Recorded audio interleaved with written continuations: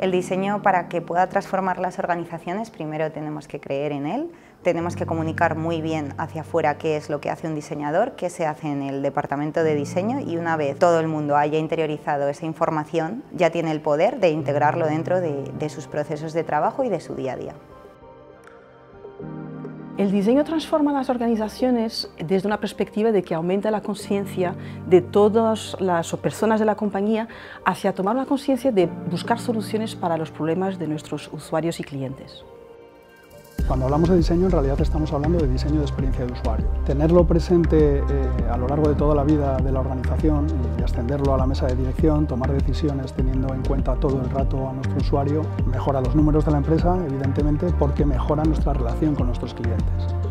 Tiene que estar presente tanto la parte de la estrategia como en el día a día. En nuestro caso nos ayuda a tangibilizar nuestra misión de ir un paso por delante de nuestros clientes, enamorarles y superar sus expectativas